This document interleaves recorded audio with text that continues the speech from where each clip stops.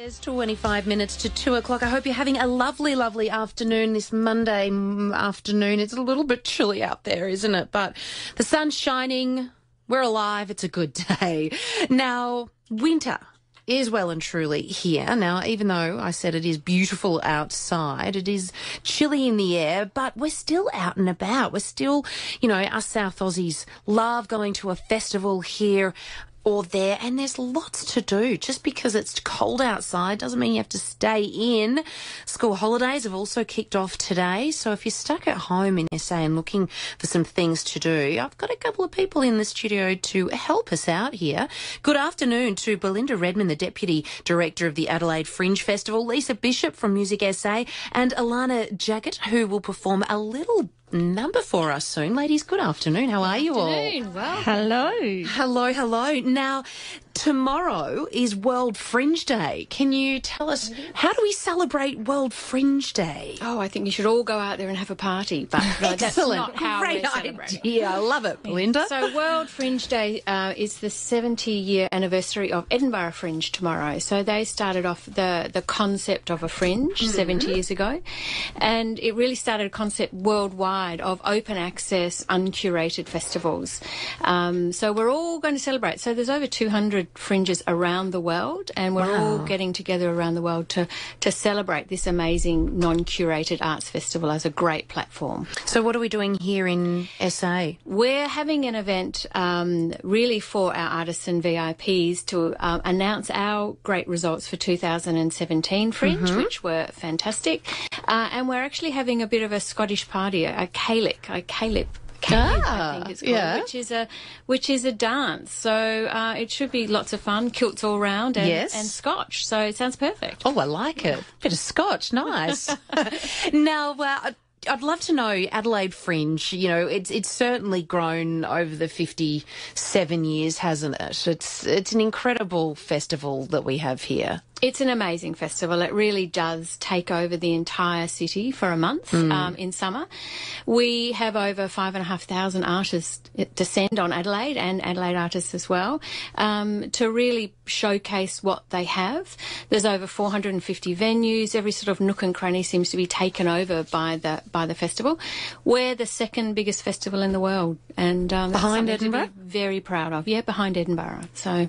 That's an enormous achievement. It's incredible. And we've had lots of support from um, community and government and councils. They all see the platform as something that it almost doesn't have an end. It just keeps getting bigger and bigger because it's open access. Everybody can be a part of it in any way they want. Now, did it start in 1960? It did. Next to, or should I say, behind the Adelaide Festival, which is a curated program, um, there were some independent South Australian artists who felt sort of disappointed that they weren't included in the international program. So they decided they'd start their own little festival called the Fringe. So that's why it's Adelaide Fringe. It's the Fringe of the Adelaide Festival. And of course, over 57 years, the Fringe has grown to be such a big, big festival. And almost in comparison, the Adelaide Festival in size um, is a lot smaller, but we do work very well together. Now, the relationship between Adelaide and Edinburgh festivals, uh, you know, we're the biggest in the Southern Hemisphere. Edinburgh's the biggest, but how far behind are we? Are we are we playing catch up, or we've still got a long way to go?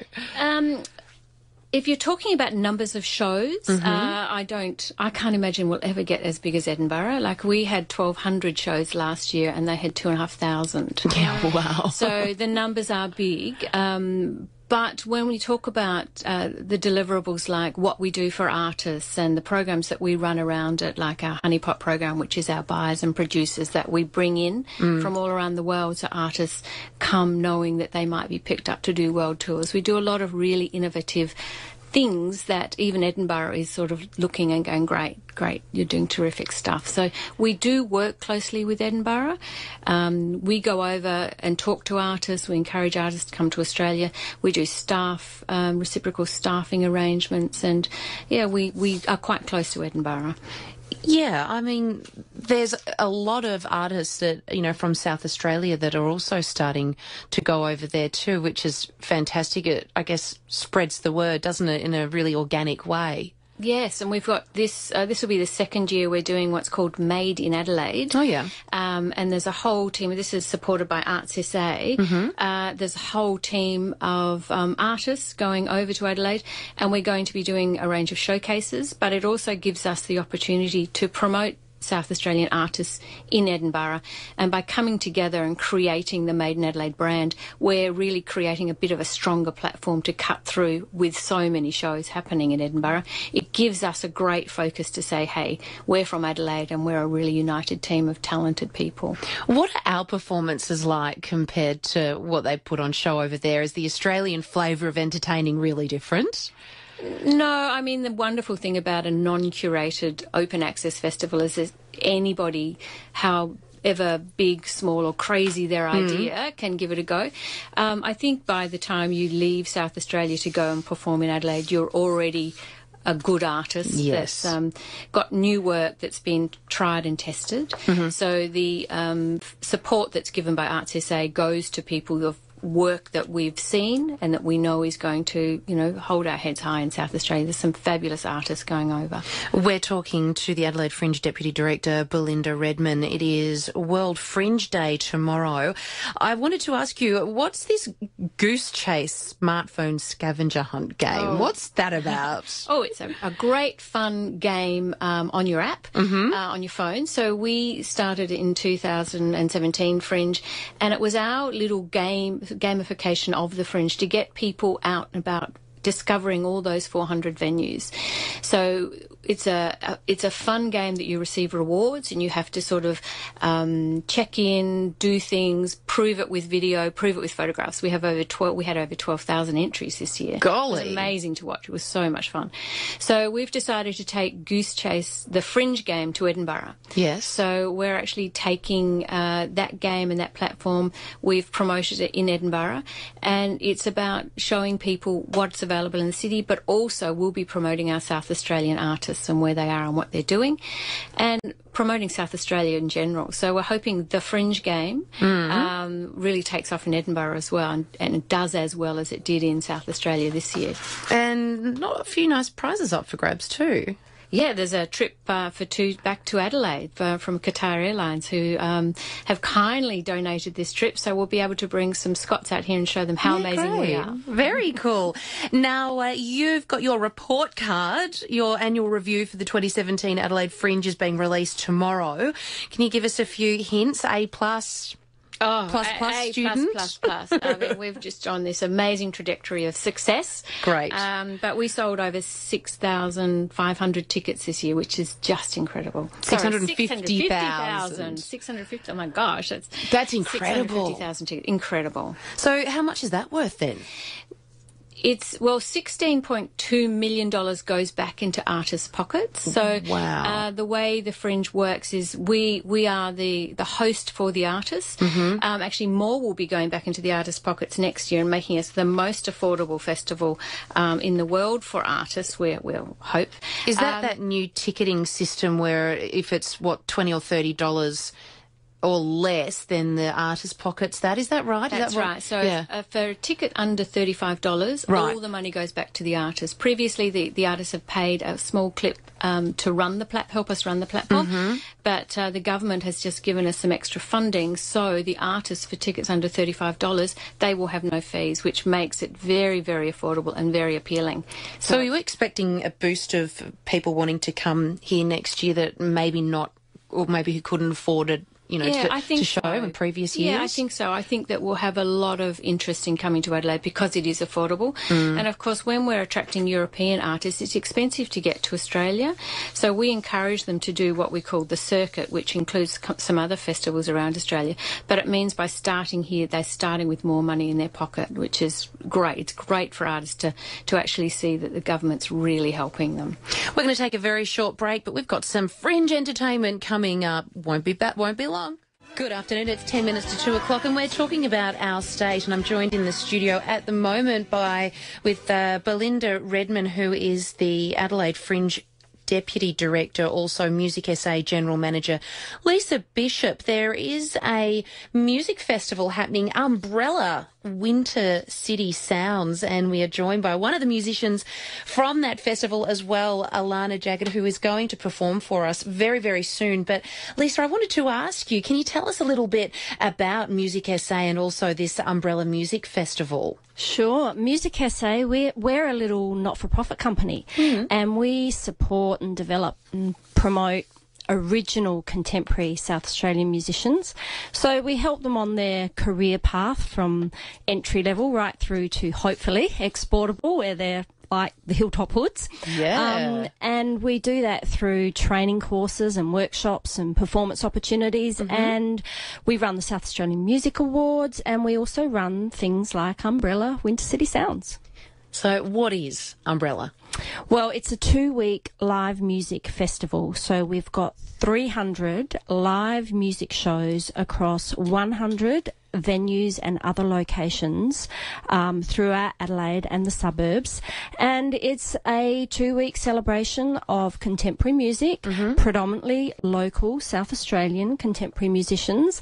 And it just gives people a good reason to. Um, throw that throw rug off and get off the couch, get away from the Netflix binge and Yeah. come into town and support some local musicians. Because I think, um, you know, a lot of our cultural activity is condensed to the first quarter of the year. So we've got frantic February and mad March. So Umbrella is really trying to kind of level out that year round calendar of festivals and events. And we link it with other winter music activations like Guitars in Bars and the Beer and Barbecue Festival and the um, Australian Independent Record Label Association Conference and Awards. So it's we're really trying to position um, July as winter's answer to the fringe, and we're doing it around music. And I think that's really important because, well, your listeners might not know, but the United Nations back in um, late 2015 designated Adelaide as a city of music. Did it? I didn't Yeah. know that. So this is a really good program to really let the rest of Australia know that Adelaide is indeed a city of music. Well, you know, Belinda, you'd be, you know, so, so proud of what you and your team create at the beginning of the year. And you walk the streets and, you know, the beautiful accents from all around the world that the Fringe attracts, you know, so many visitors to our great state. And then, you know, we have the Cabaret Festival as it, you know, it, it kind of tinkers on a little bit and then sort of drops off. Mm. How important is it to keep that brand, that festival, that music brand and reputation flowing throughout the whole year? I mean, we do kick it off very well. In fact, uh, the largest genre outside comedy is music in the Fringe. So we have some amazing musicians in the state, and it is a great way to celebrate them. But I think that you're right about kicking off the knee rug and getting out there. There is some incredibly talented people out there, but there's also some fantastic venues that people need to get into. And I think music highlights, it helps the venues get engaged and involved in winter, um, but it also showcases the fantastic art that we have. Lisa, who does the uh, Umbrella Festival appeal to? Well, we're hoping it will, will appeal to anyone, whether they're five or 95. So Yeah, it's been deliberately programmed with a whole variety of genres. I think there's 21 different contemporary music genres in it. So Mm-hmm. you've got everything from rock, punk, hip hop, acoustic, folk, reggae, electronic. Mm-hmm. Uh, we've got free events, about 75 free events, as well as ticketed events during the day, at night, earlier, like so people in the city can go to them straight after work. We've got events on trams. We've got um, showcases in Rundle Mall. We've got, um, as Belinda said, a lot of the shows are happening in venues. We didn't want to necessarily create a hub. We wanted the music to be where it is usually during the year. And um, venues that support live music deserve that because winter can be a pretty tough time and, and they're not getting the commercial outcomes that they really need. And also musicians need the work. And Sure. uh, I mean, Umbrella happened for the first time last year and many of the musicians I spoke to said, I've never been this busy in winter. S- Yeah. I'll tell you what, our winter is really not that bad at all. Um, admittedly, I wasn't here last year for the Evel Knievel winter that we experienced, but you know, there really there's no reason why we shouldn't be going out, rug up, put a beanie on and a coat. We're not, you don't get that awful wind or rain that you do in Melbourne. I agree. It's a pretty mild winter. Yeah, it's beautiful. Um, it's a great time to go out and listen to a bit of music, grab a glass of red or whiskey, whatever, whatever floats your boat. wine, yeah, in front of an open Yes. fire. That sounds nice. Um, what are some some of the big acts? What are some of the highlights? What should we be going to see? Okay, well, as I said, it's mainly local South Australian artists. Um, there's a whole lot of shows. So, um, some of the highlights for me would probably be on the 15th of July. So, Umbrella goes, I should have said, from the 14th of July to the 30th of July. On the Saturday night of the first weekend, there's a free family friendly event in Victoria Square called Aquabeats. Yes. Where there's a lineup of bands and they play to the movement of the water in the fountains is like matched to the, the beat and the bass. So that'll be pretty amazing. Um, there's an electronic festival on a Wednesday night straight after work in Cinema Place. There's, uh, as I said, tram sessions, which has come out of Melbourne, has come to Adelaide. Um, from the 20th, 21st 21st to the 24th of July, there'll be a stage in Gawler Place in Rundle Mall, and there'll be about three or four acts a day there. Um, on the 14th, our opening night of Umbrella, there's a lovely little show at the producers called the Winter Island Festival, uh, which is uh, headlining uh, African Intelligence, and so they were a, an act that played at WOMAD this year. Uh, so that'll be a good one to get along to. And there's a couple of shows that uh, Alana is playing in actually on Friday the 28th of July. There's a show called Scouted, and that's 15 bands across five stages at the Producers and the Crown and Anchor in town. So that'll be a nice one to attend. And also there's a show, a free show at the Ed Castle on the 15th of July called Southern Twang. Um, that kind of showcases Americana music. It's this new genre that's been really kind of picked up big time in Adelaide at the moment. And um, yeah, Alana's playing there. Well, Alana, I think it's time that we introduce you. Welcome to the show. So you're playing in in Umbrella, and what do you love about the festival? Oh, I don't know. It's just lots of my, you know, friends and sort of colleagues are are out there at that time, and there's just always something to Mm-hmm. Good do. vibe around yeah, town. It's a good vibe. Yeah. Now you're singing for us. What are you singing? Um, I'm singing um, a song of mine called Wilderness. Yes. Um, coming out on my upcoming debut EP, which is out in October. So, And what's Wilderness about? Oh, I don't know. Don't ask ask, just I'll like just that. play. All right. Well, introducing Alana Jagt playing Wilderness.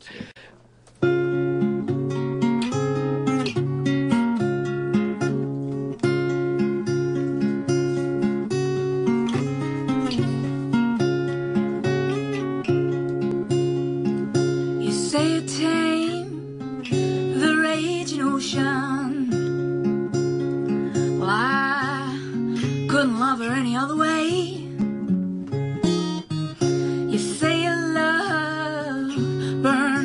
Fire.